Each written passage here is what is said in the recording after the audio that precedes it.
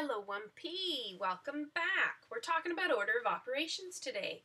Our goal, I know which order I must do mathematical operations in a math expression, and I know what BEDMAS stands for.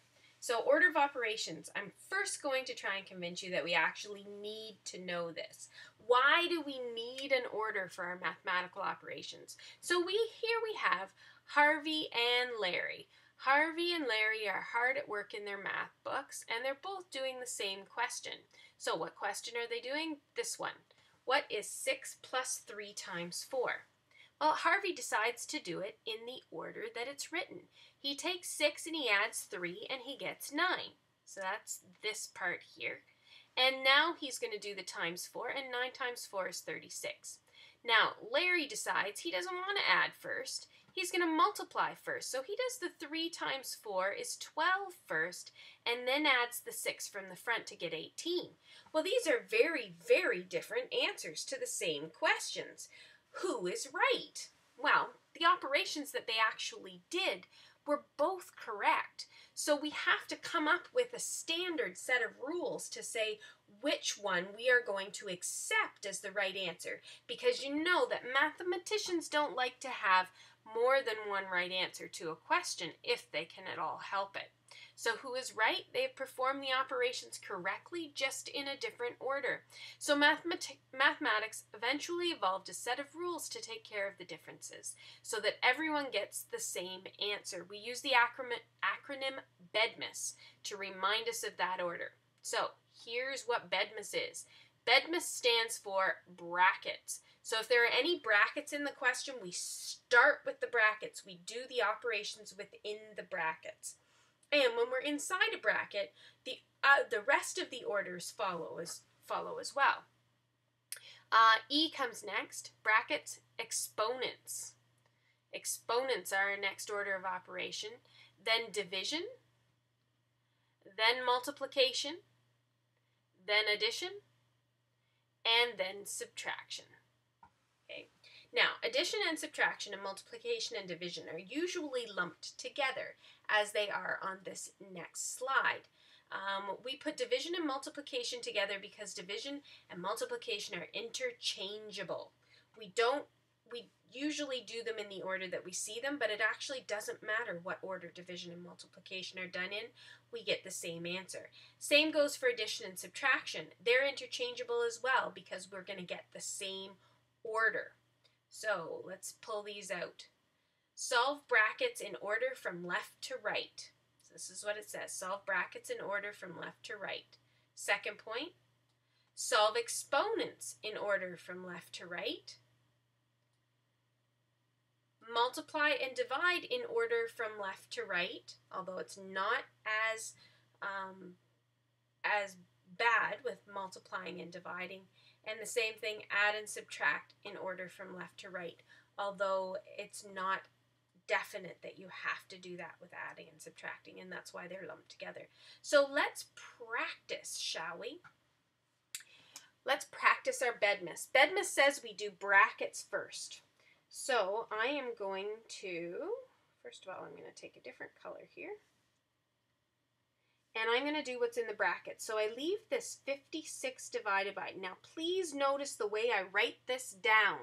I am going to expect that you show me every single step and I'm going to expect that you write it down properly. So we put the 56 divided by there and then we just work on this first part, the 12 minus 4. And 12 minus 4 of course is 8. And then I'm going to write out the rest of it. Plus 3 times 4 minus 8. Now the bracket that I put here isn't actually doing anything. I don't need it there anymore. So I can just erase it out of there. And now order of operations tells me that I have to do exponents. There are no exponents in this question, so I carry on and I do division and multiplication in any order I see it. Well, I see this division and I see this multiplication, and they can both be done on the same step. 56 divided by 8 is 7, and then 3 times 4 is 12, and then I have this minus 8 on the end that wasn't affected in this round. And now I can do this in the order that I see it or in any order that I want. Usually we work from left to right, so let's do it in a couple of steps. 7 plus 12 is 19, and then we're going to put that minus 8 down there. And 19 minus 8 is 11. So our final answer is 11. Next question tells us we need to do brackets first. So brackets is the only thing I'm working on. So I'm going to write everything else down the way it appears. And then this 3 plus 9 is 12, and so I'm going to put 12 in instead of this bracket. Uh, that's what I was working on. I knew this was 12, so I'm going to replace that whole bracket with a 12, and then divided by 4.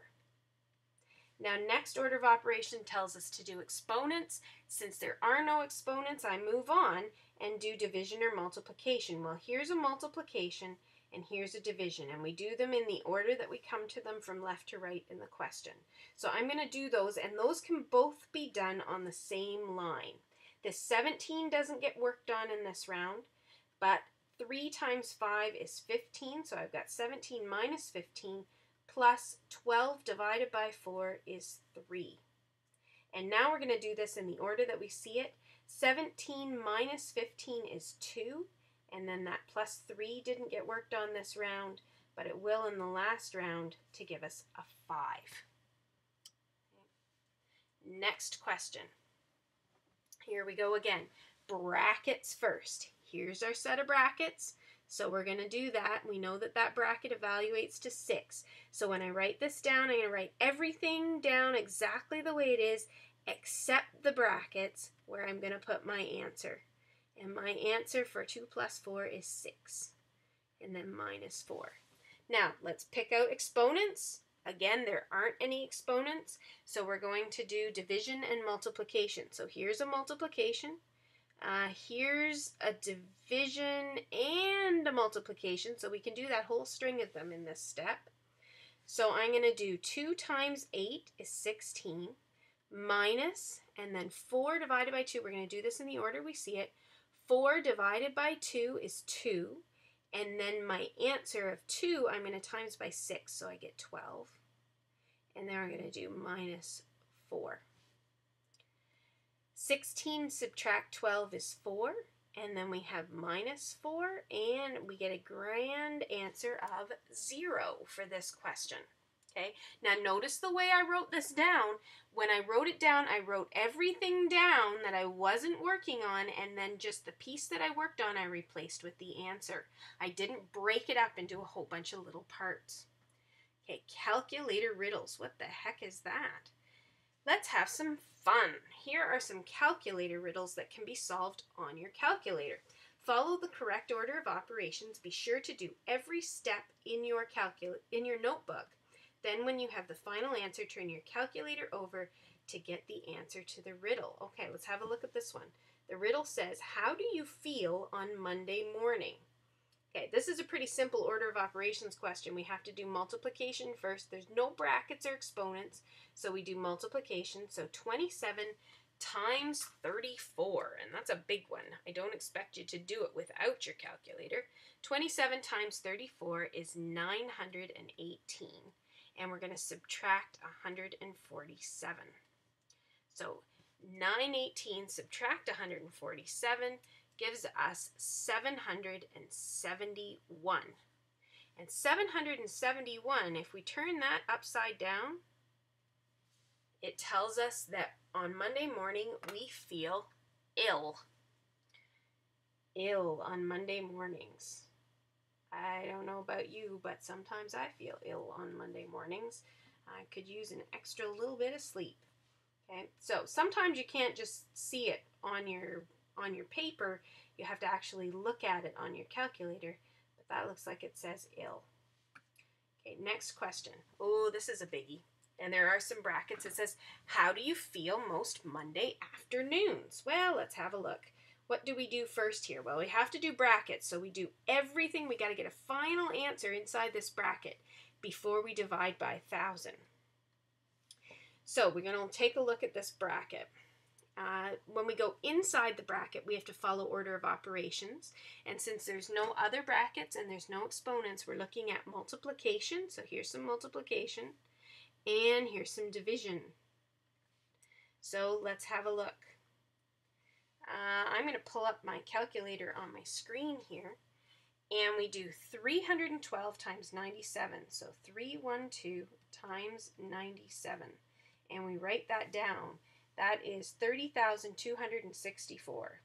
So 30,264. Now we have to do 14,229 divided by 3. 14,229 divided by 3 is 4,743.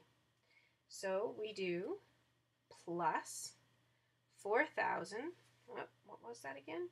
743. 743. And now this part didn't get worked on, so I just put minus 34,502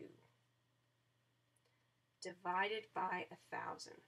So now this is still in brackets, so we have to take the final answer in those brackets, and I'm going to pull my calculator up again, and that says 30,264. We're going to add to that 4,743 and then subtract 34,502. And the answer we get is 505. And now that's the answer for this big bracket. So now we can divide by 1,000. And when I divide by 1,000, divide by 1,000, I get 0 0.505. So how do you feel most Monday afternoons? Let's flip this over. Uh, so-so. You feel so-so on Monday afternoons. So those are calculator riddles. Now you have a whole bunch more, a handout page of calculator riddles that I want you to do in your workbooks. You don't have to do the whole page, but I want you to do at least 10 of the calculator riddles, and hopefully some of you will do more. Um, so do them in your notebooks. And if you're having trouble, if your answer, you flip the calculator calculator over and it doesn't make any sense, when you're working on these, you need to call me over and see where you went wrong. But you have to have it all written down in your notebook because if you don't have it all written down in your notebook, I won't be able to see where you went wrong. So you need to put down step by step by step how you did these. Don't just punch them all into your calculator because then I won't be able to see where you made your mistake. So that is order of operations, ladies and gentlemen. Um, and that's it for today.